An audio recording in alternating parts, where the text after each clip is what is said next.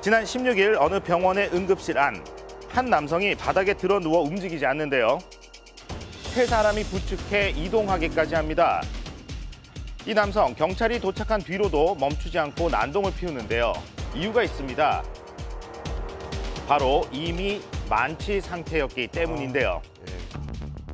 급기야 순찰차 안에서도 난동을 피워 결국 현행범으로 체포됐습니다.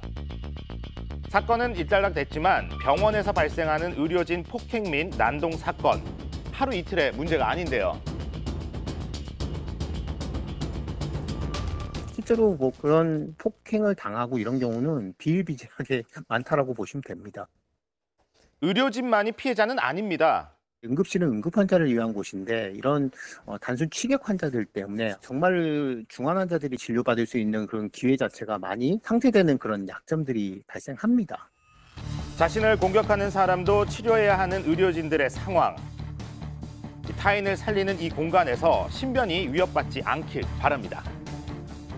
네, 응급실에 뭐 생사가 오가는 환자들 정말 많고 또 인원 한 명 한 명이 중요한 것인데 저렇게 한 명을 제압하기 위해서 뭐 세 명이 붙어야 되니까 이게 무슨 민폐입니까? 뭐 이런 경우에는 더 가중 처벌을 해야 되는 거 아닙니까? 네, 맞습니다. 이제 현행법상 의료인을 폭행하는 경우에는 가중 처벌이 되도록 되어 있고요. 이렇게 술을 마시고 기억이 없다라고 해서 형이 감경되지 않습니다. 네. 그리고 현재 응- 안전한 응급실 3법이 발의된 상태인데요. 여기에 보면은 폭행에 대해서 뭐 처벌을 원치 않는다고 해도 이제 처벌을 할 수 있게 하자라는 음. 내용도 들어가 있고 또 폭행 사고가 일어났을 때는 의료기관에서 신고를 의무화하는 내용 그리고 또 보안 인력이 좀 제지를 할 수 있도록 하는 그런 내용들이 포함되어 있기 때문에 논의를 좀 해봐야 될 것 같습니다. 네, 뭐